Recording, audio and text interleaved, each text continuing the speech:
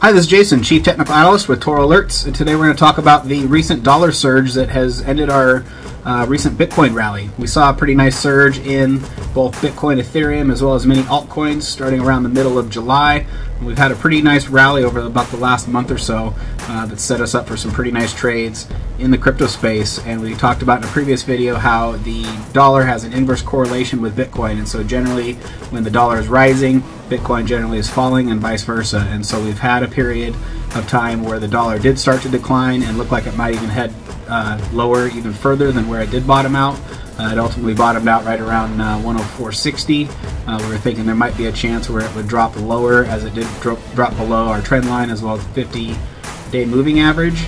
And so we thought that there might be a possibility that the dollar could head a bit lower and correct before heading higher.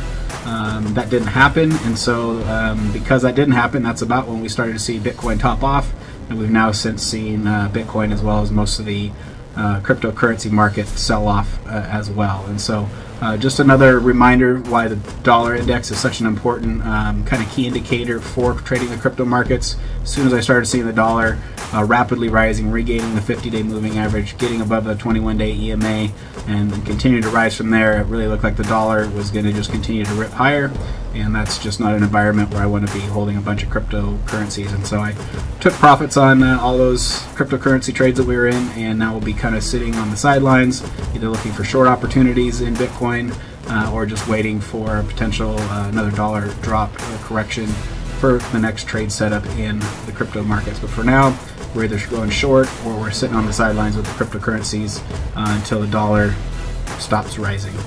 Thanks for tuning in. Make sure to download the Toro Alerts app on the App Store. We've got one for stocks and one for crypto. Make sure to like, share the video, and we'll see you next time.